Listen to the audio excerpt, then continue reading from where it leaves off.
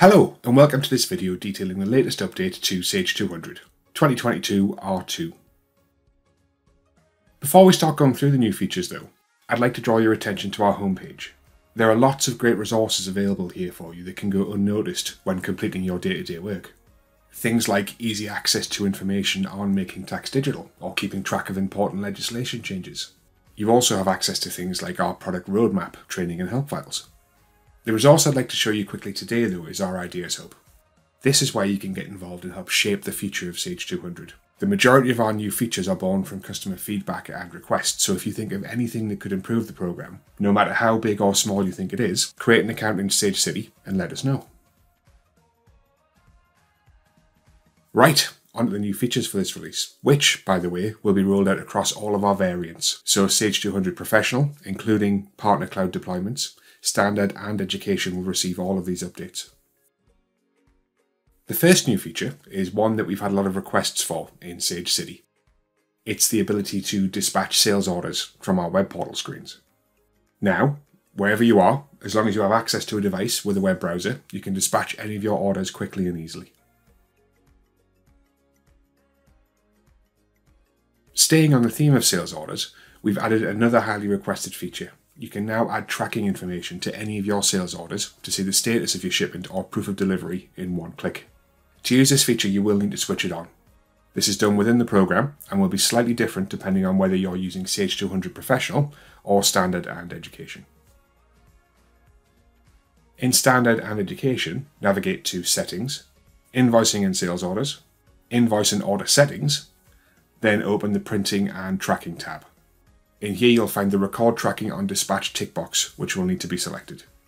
To find that field in Sage 200 Professional, navigate to Sales Order Processing,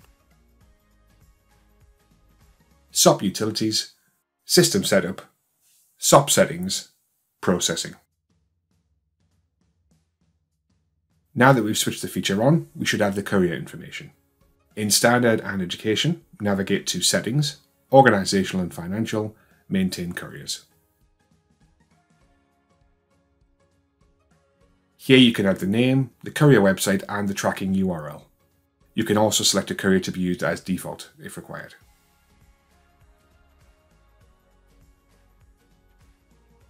To find this feature in Sage 200 Professional, navigate to Accounting System Manager, Settings, Maintain Couriers.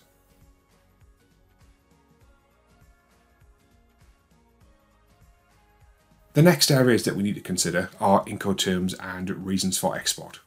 If these are applicable to your business, then you can use the information that is preloaded in the system, or you can add your own if you need to.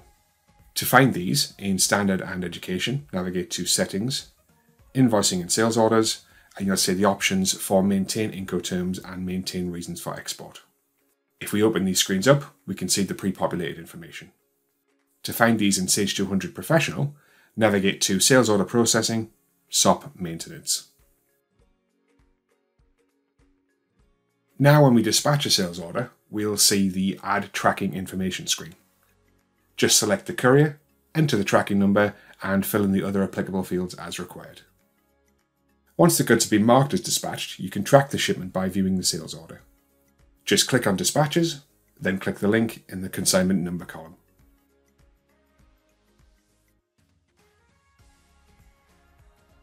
Businesses in Northern Ireland and the EU should be aware of the amended Intrastat thresholds.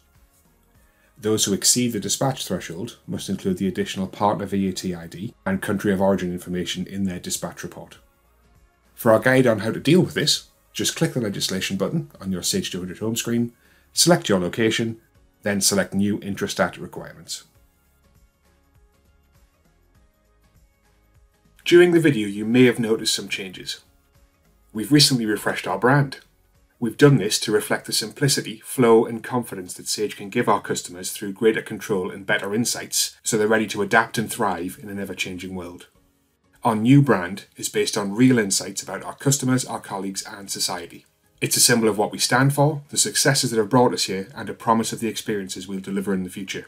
It's safe to say we're excited about this and about what we can achieve together. That's it for this video, so thanks for watching. Remember to use Sage City and our roadmap to help Sage 200 evolve and to see what we have coming in future releases.